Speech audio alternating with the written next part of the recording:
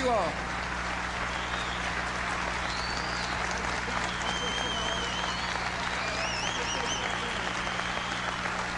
Thank you all. Please be seated. Thanks for coming out to say hello. It's great to be in southern Illinois.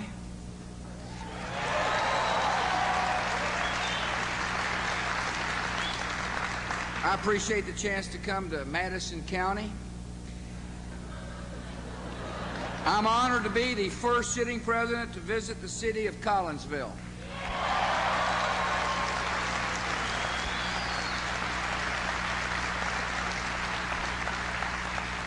I'm sorry Laura's not with me. That is generally the reaction. I was hoping she and I could go look at the ketchup bottle.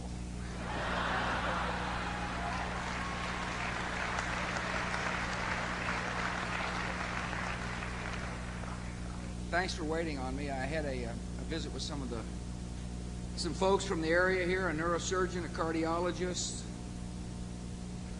administrator of a hospital, OBGYN, a patient, all about the healthcare crisis that exists here in this part of the world. And that's what I'm here to talk about. I'm here to talk about how we need to fix a broken medical liability system.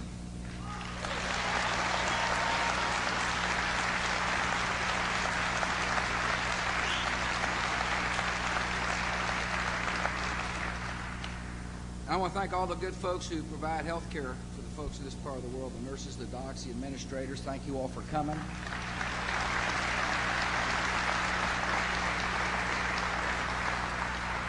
Thanks for your compassion. Thanks for your care.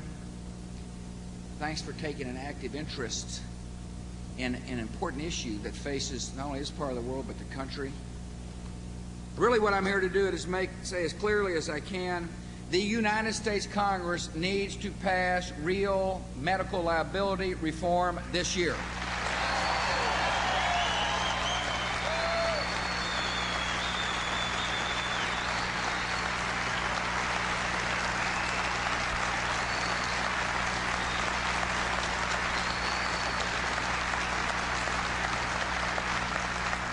And there's no doubt in my mind we have a strong ally in this issue in the great Speaker of the House of Representatives from the great state of Illinois, Denny Hastert.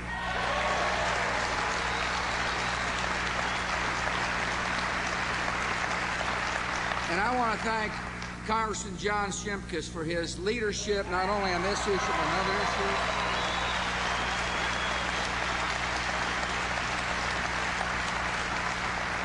Good to be with his wife Karen again, sons David, Joshua, and Daniel. Nice to see you boys. And you brought mom and dad. Your mom's probably telling you what to do just like mine is. You're probably listening about half the time just like I am. Welcome. I'm also proud to be traveling today with a great congressman from Peoria, Illinois, Ray LaHood. Thank you, sir. Appreciate you coming.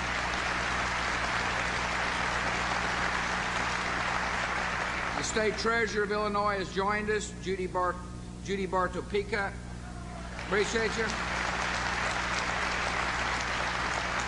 Tom Cross is here. He's the minority leader in the House. I tell you what he's doing in the House of Representatives for the state of Illinois. He is leading the medical liability reform effort. And I want to thank you, Tom, for taking a strong, strong role. Appreciate you coming.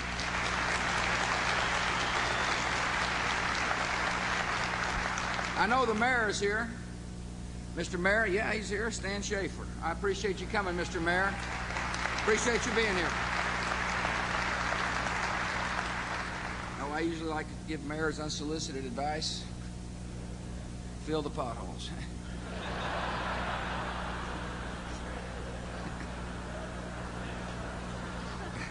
You probably got some advice for me. Pass the highway bill. I want to thank uh, uh, those of you who are working on this medical liability issue here in the state of Illinois. I appreciate your efforts. Uh, look, it's about time the medical profession gets involved.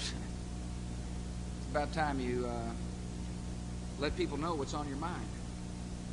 It's time to make sure that the issue comes to the forefront, not only at the federal level, but the local level as well. I want to thank uh, Connie Bergman. I met Connie. She came out to the airport, air base, and uh, kind of air base airport combo, I guess it is. She uh, she is a volunteer for the American Red Cross. The reason I bring her up is every stop I make in America, I like to herald a, a citizen who's taken time out of his or her life to volunteer to make the country a better place. See, the great strength of America is not our military might, and it's certainly not the size of our wallets. The great strength of America lies in the hearts and souls of our fellow citizens. People who are willing to love a neighbor just like they'd like to be loved themselves. People who are willing to take time to volunteer to make America a better place. And Connie Bergman is such a person, and I want to thank you for serving the Red Cross.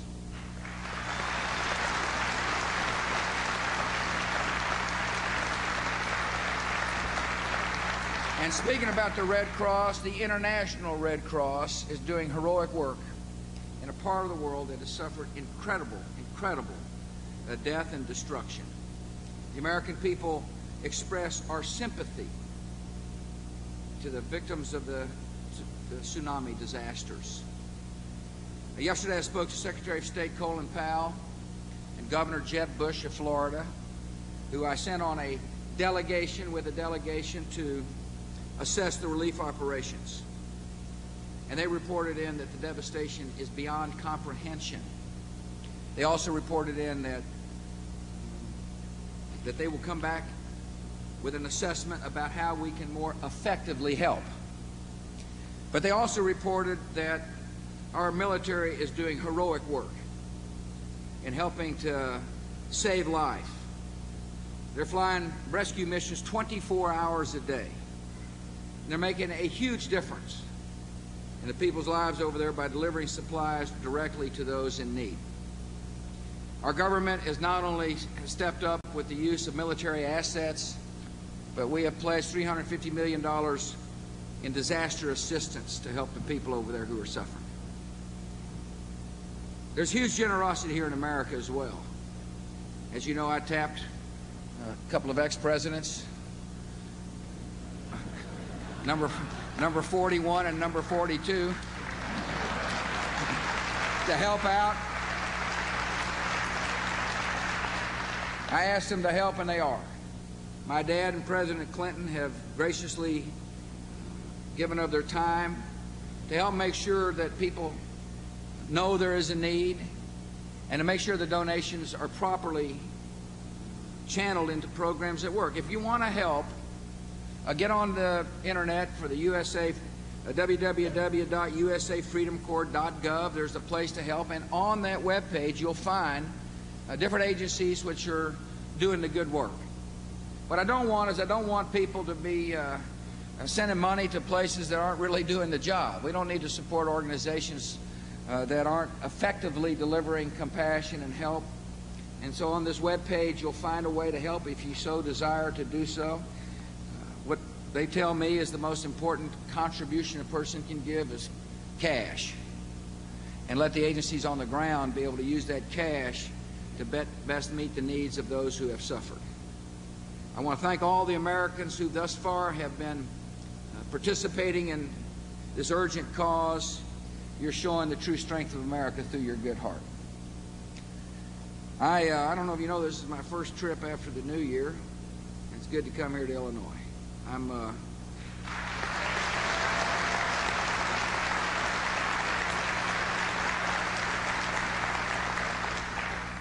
I'm rested and ready to continue to serve to be your to continue to, to be your president and to serve the people of this country. And we've got a big agenda item, big agenda, and a series of items uh, that we'll be dealing with. First of all, we're going to win the war on terror. We still got to.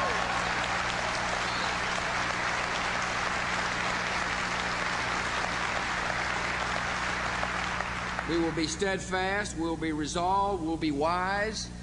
We won't give in to these people. We have a duty in your government to protect the American people. So the second big task at hand is to make sure we do everything we can to protect our homeland. And I will assure you, I will continue to work to spread freedom and democracy and therefore peace in parts of the world that are desperate for freedom, democracy, and peace.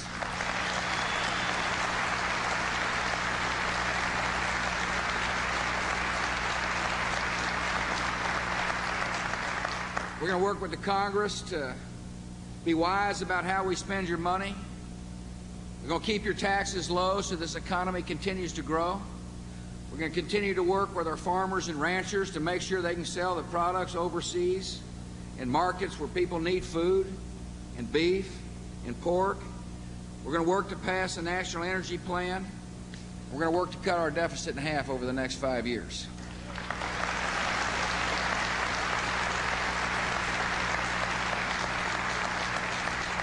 And I look forward to working with members of both political parties to do something about our health care system. First, it is important for Americans to understand we have the best health care system in the world.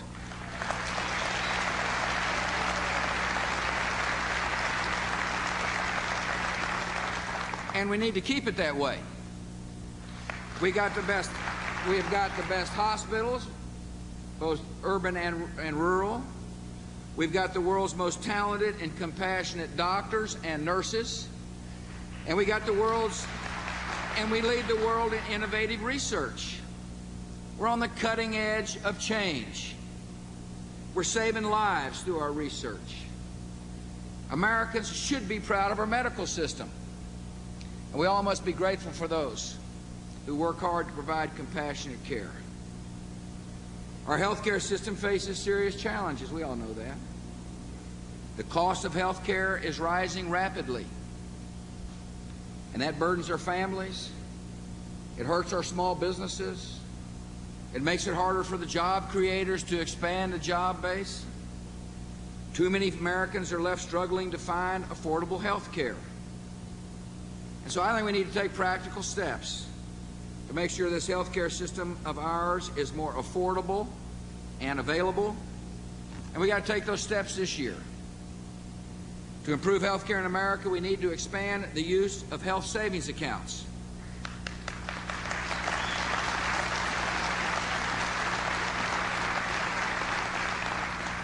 It's a product that lets you save tax-free for routine medical care while keeping affordable coverage against major illness. Small businesses must be allowed to join together to pool risk so they can buy insurance for their employees at the same discounts that big businesses are able to do.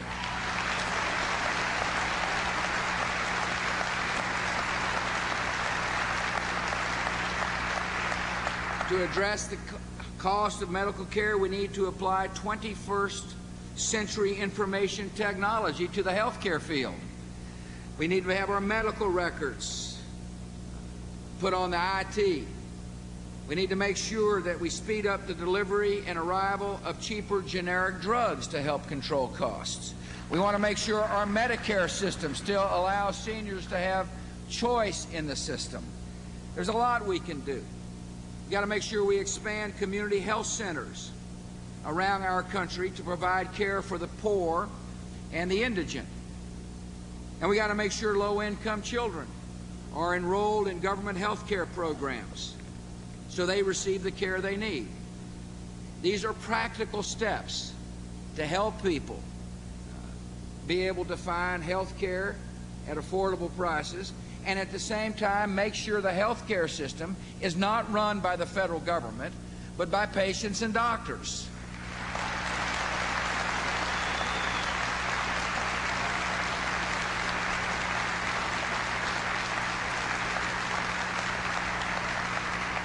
To make sure our healthcare system works the way we want it to work, we've got to address the root causes of rising medical costs. Part of addressing those costs can be achieved by introducing information technology. Part of addressing those costs can be achieved by introducing generic drugs faster, just like I mentioned. Some of the cost increases in our healthcare system are necessary and worthwhile. After all, research into new treatments requires major investments.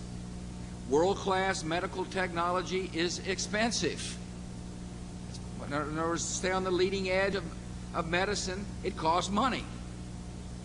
And I suspect somebody whose life has been saved by the latest technology is going to say that cost increase was necessary.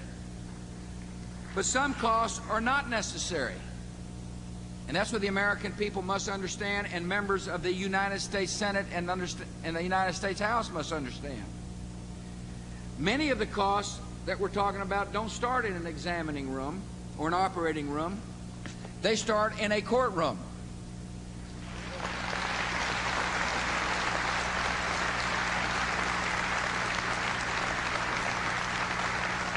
What's happening all across this country is that lawyers are filing baseless suits against hospitals and doctors. That's just a plain fact.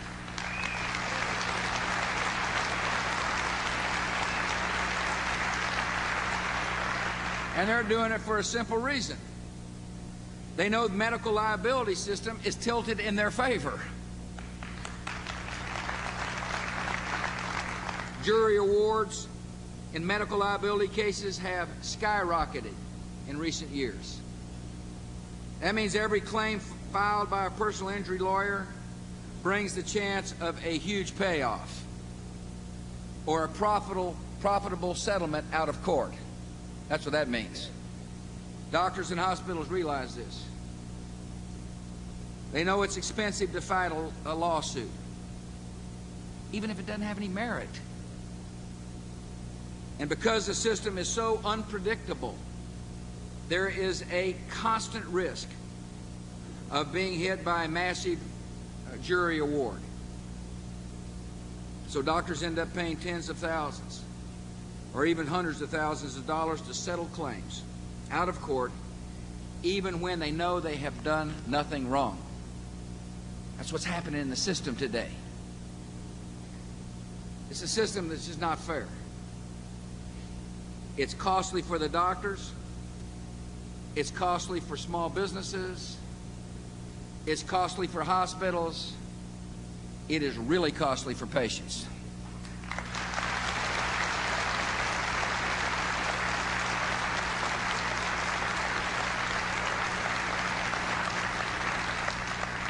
When those providing insurance have to pay the bills for enormous jury verdicts or out of court settlements, to raise premiums on physicians they cover. Specialists in high risk practices like OBGYN or neurosurgery are particularly vulnerable to lawsuits, so their premiums rise the fastest. You're about to hear a couple of stories of uh, folks in this area who can testify to that fact. Because junk lawsuits are so unpredictable, they drive up insurance costs for all doctors, even for those who have never been sued, even for those who have never had a claim against them. When insurance premiums rise, doctors have no choice but to pass some of the costs on to their patients. That means you're paying for junk lawsuits every time you go to see your doctor. That's the effect of all the lawsuits it affects your wallet. If you're a patient, it means you're paying a higher cost to go see your doctor. If part of the national strategy has got to be to make sure health care is available and affordable, health care becomes less affordable because of junk lawsuits. And that's what the people of Southern Illinois and the people of America must understand. That every time you read about big jury verdicts or out of court settlements or lawsuits being filed here or there, you're paying for it. For some physicians, even raising costs for patients isn't enough to afford the premium increases caused by these lawsuits. And so, physicians are faced with a terrible choice give up medicine entirely or to move to another place where they can afford to practice medicine. And that problem affects all doctors, from family practitioners in rural towns to surgeons in big city hospitals.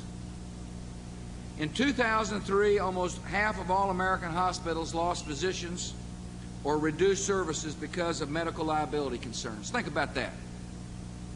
One half. of all American hospitals lost physicians. Over the past two years, the liability crisis has forced out about 160 physicians in Madison and St. Clair counties alone. When doctors move or close their practices, guess who suffers? The patients, the people who live in these good towns in this part of the world. Pregnant women have to travel longer distances for checkups. Accident victims lose critical minutes in transit to faraway emergency rooms. New residents, people you're trying to get to come and live in your communities, have a hard time finding doctors willing to accept extra patients. And that causes the quality of life in your community to deteriorate. It's a problem that we must address. America's healthcare professionals should be focused on fighting illnesses, not on fighting lawsuits.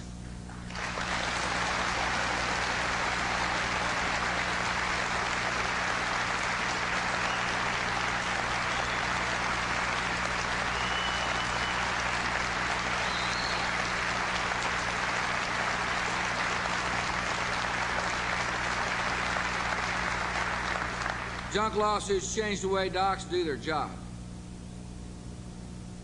Instead of trying to heal the patients, doctors try not to get sued. It makes sense, doesn't it? If you're worried about getting sued, you're going to do everything you can to make sure you don't get sued. That's why doctors practice what's called defensive medicine. That means they're writing prescriptions or ordering tests that really aren't necessary, just to reduce the potential of a future lawsuit. Have specialists stop taking emergency room calls. Doctors turn away patients with complicated life-threatening conditions because they carry the highest risk for a lawsuit. Defensive medicine drives a wedge between the doctors and the patients. And defensive medicine is incredibly costly for our society. Altogether, defensive medicine drains some 60 to 100 billion dollars from the economy. Defensive medicine raises medical bills for patients. It increases insurance costs for employers, and it takes money away that small businesses could use to invest and expand. This liability system of ours is what I'm telling you is out of control. And you had people in this understand in this area, and the doctors in this area understand what I'm talking about. A recent study ranked Madison County the number one place in the country for trial lawyers to sue. And that's a ranking I'm sure you'd like to get rid of.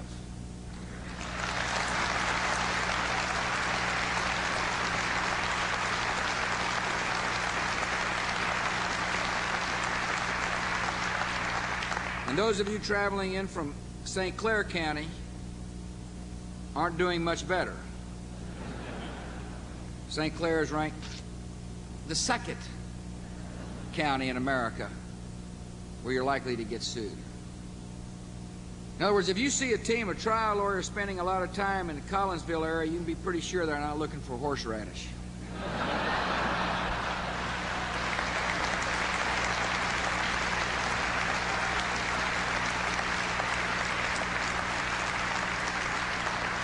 Let me share some of the stories of the folks I met with today. I think this will help clarify what I'm trying to say to you.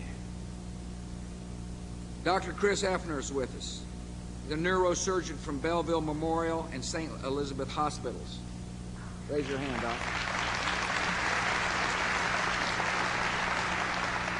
He is one of only two neurosurgeons still practicing south of Springfield, Illinois. Got two people in the area. In just two years, his annual premiums have more than doubled from $131,000 a year to $265,000 a year. And at the same time, his amount of insurance coverage has been cut in half. A few years ago, Chris decided that closing his head trauma part of his practice was the only way he could afford to stay in this area. He told me he loves living here in this part of the world. He likes to raise his family here. He and his wife made a tough decision to stay here in spite of the fact that his premiums doubled and he got half the coverage.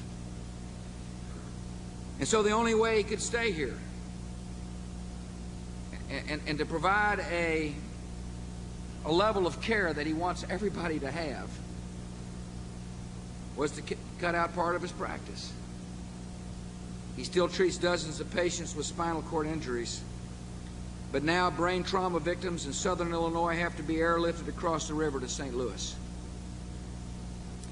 He said, It's very distressing. I spent years of training to do brain surgery. It's a big part of my life. I made a commitment to stay here, but I had to make adjustments to keep the axe from falling. The system needs to be fixed.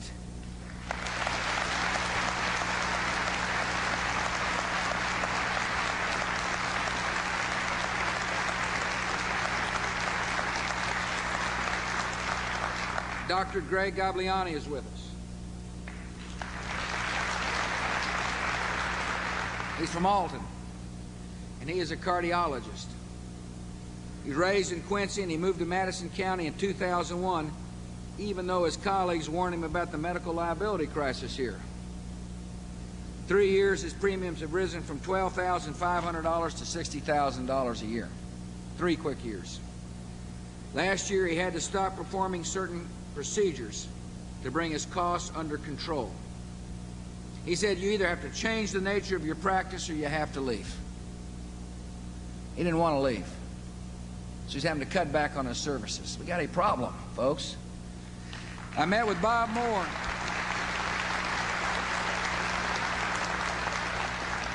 I met with Bob Moore. He's the CEO of Redbud Regional Hospital. That's Big Bob.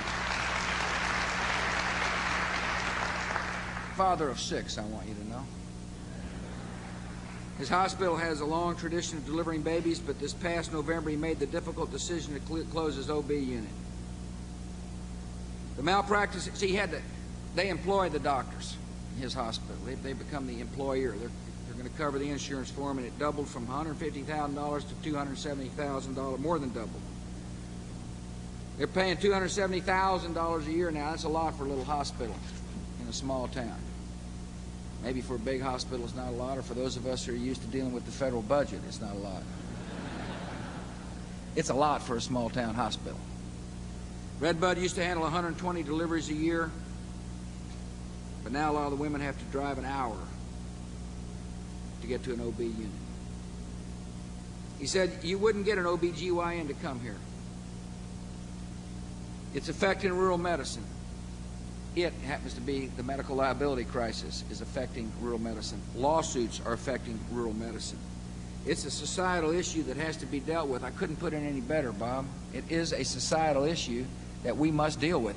It is a quality of life issue. We don't want our little towns uh, being uh, not having any health care. We want people to live in rural America, like Crawford, Texas, to be able to get to have a quality of life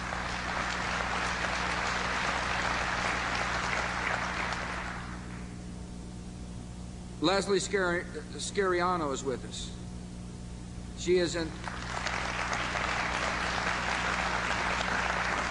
OBGYN from Alton. She spent her entire career as a doctor in Southern Illinois, and she has never been sued.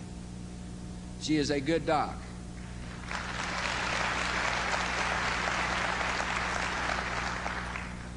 She shut down her practice on December the 31st of this year because her premiums have skyrocketed out of control.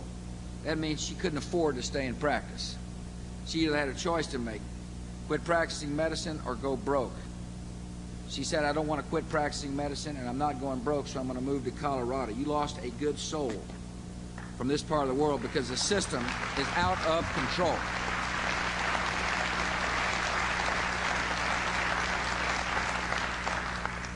Leslie's premiums will be about 80% lower in Colorado than here in Illinois. I met with Kim Vogel, who's right with us. Yeah, there she is. She was one of Leslie's patients. She is expecting her second child early next month, like soon. When she found out she was pregnant last year, Kim started seeing the OBGYN that delivered her daughter Katie That OBGYN moved to Tennessee. Then she started seeing Leslie. Leslie's moving to Colorado. Kim is now on her third OBGYN. And she's worried about it. She said, I understand the doctor's position. I don't blame them. But as a patient, I see them leave and I think, what am I going to do now? And where does that leave me? I feel like I've lost control over how my pregnancy will go. Unfortunately, this is not just a story confined to this part of the world. This is a story of pregnant moms all over America who are wondering whether or not they're going to be able to find good quality health care for their child and themselves.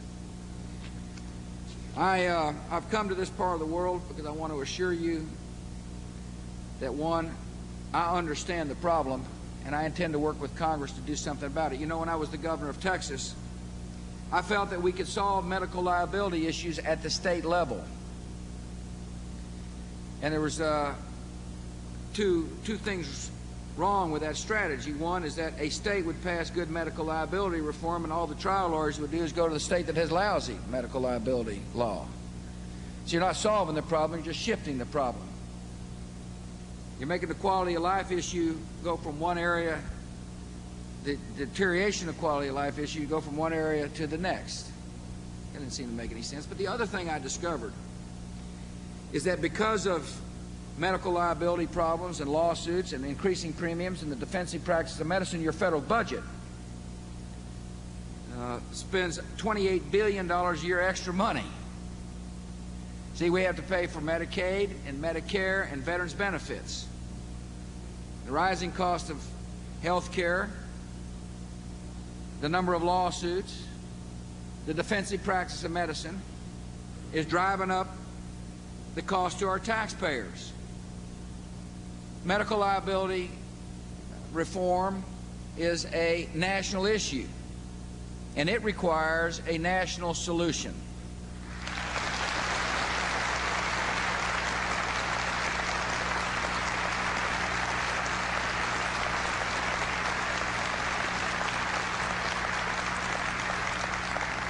So I went to Congress with some proposals that I think are fair proposals that will build confidence in the judicial system. Nobody likes to come to a part of the world that says the judicial system is out of control and people lose confidence in it. We got to have confidence in the fairness of our system.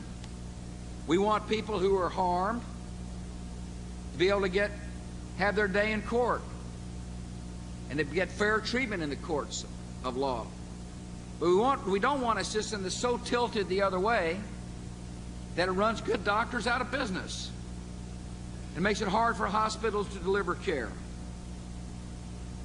I believe a victim of a legitimate medical error should be allowed to collect full economic damages, 100% of the cost of their medical care and recovery plus economic losses for the rest of their life. Seems to be fair if you get hurt.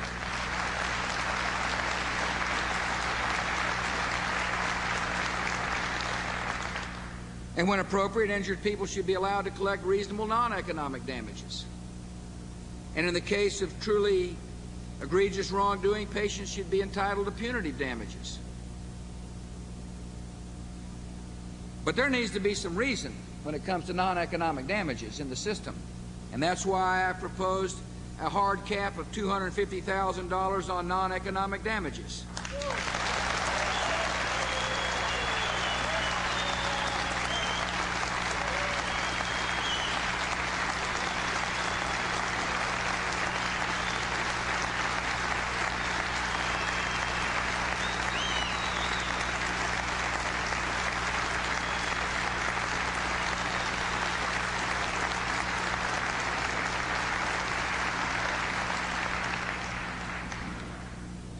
The, uh, interestingly enough, the state of California has a cap on non-economic damages that was enacted in 1975.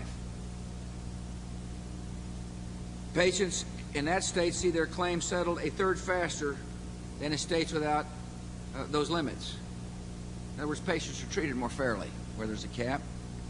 And since 1975, insurance premiums for California doctors have become much more affordable premiums than anywhere else in the country than in most states. Caps on non-economic damages work. It's a good idea. And the Congress ought to adopt them.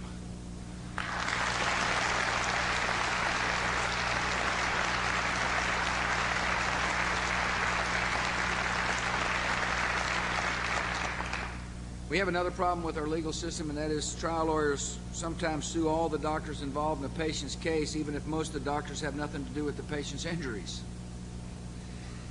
Simply unfair to punish doctors who have done nothing wrong. And so,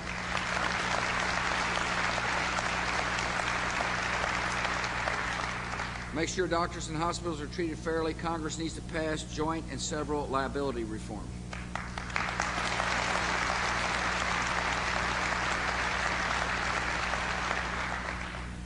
I think the people are beginning to understand the importance of this issue. I know you do. I know the people of this part of the world understand it. Because you see firsthand what happens when the system gets out of control. 160 docs leave two counties. People understand that no patient's ever been healed by a frivolous lawsuit. No small business has ever grown because of a frivolous lawsuit. The cause of justice is never served by frivolous lawsuit. I know you're serious about this liability issue here. I talked about it everywhere I went on the campaign, nearly everywhere I went on the campaign trail. And I believe the voters made their position clear on election day about medical liability.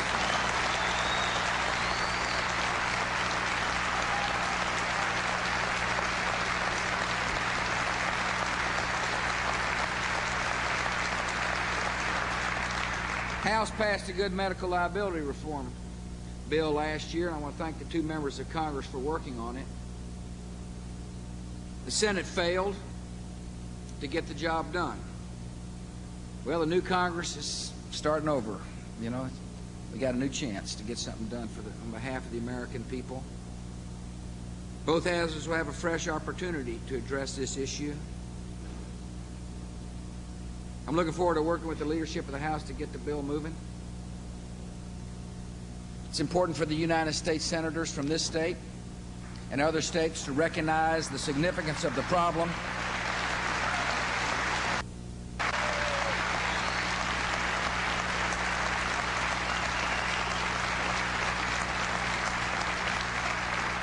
Junk lawsuits affect more than just the medical field. According to a recent study, frivolous litigation has helped drive the total cost of our tort system to more than $230 billion a year. That's the equivalent of $3,200 for every family of four. The lawsuit burden falls especially hard on small businesses. And yet small businesses are the engine of job are the engines of job creation in our country. 70% of all new jobs in America are created by small businesses.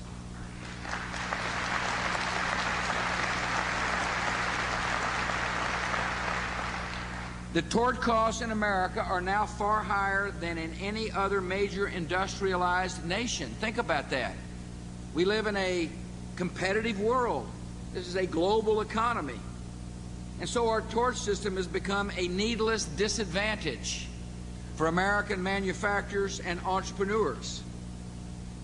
And so here's some actions Congress can take as well. To protect small businesses and workers, we need to change the way we handle class action lawsuits.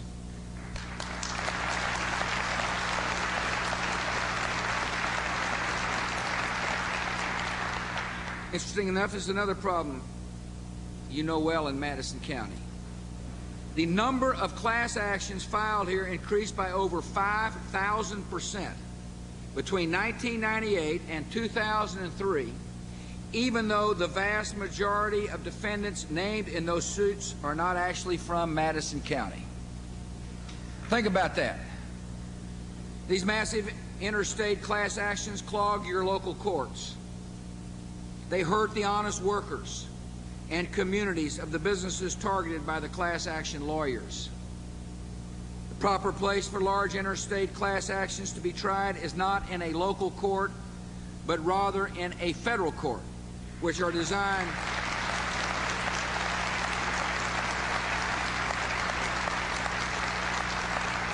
I look forward to working with both bodies and members of both parties to get good class action reform out of the Congress this year. I'll also work with Congress to reform asbestos litigation. Asbestos, asbestos lawsuits in southern Illinois and elsewhere have led to the bankruptcy of dozens of companies and cost tens of thousands of jobs. Many asbestos claims are filed on behalf of people who are not sick. The volume of asbestos lawsuits is beyond the capacity of our courts to handle, and it is growing. More than 100,000 new asbestos claims were filed last year alone. Congress has begun considering options to improve the current system for handling asbestos lawsuits. They need to act and get the job done. I look forward to signing an asbestos reform in 2005.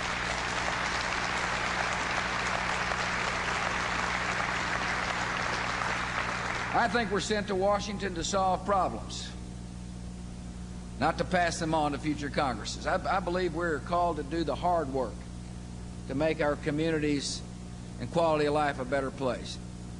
And it's hard work for some in Congress to stand up to the trial lawyers. I understand that. But all we're asking for is fairness. We want our doctors treated fairly. We want the hospitals treated fairly. And most of all, we want the patients and the American people treated fairly.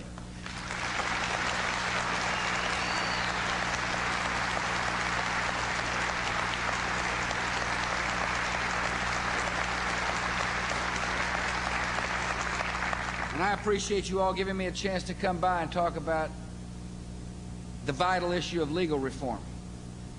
I intend to go back to Washington here shortly, and when I see members of the Congress, as I work this issue, I'm going to say, I spoke to the good folks of Southern Illinois. They understand the problem, and they expect you, members of the United States Senate and the United States House of Representatives, to get the job done.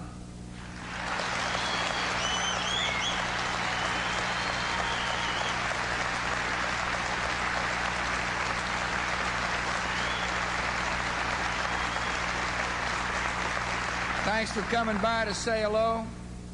I hope you and your families have a blessed and healthy 2005. May God bless you all.